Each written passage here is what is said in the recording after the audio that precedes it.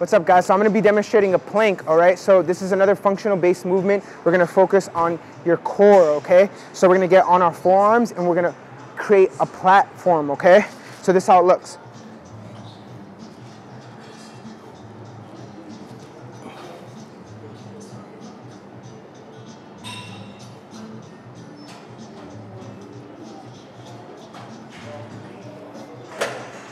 Thank you.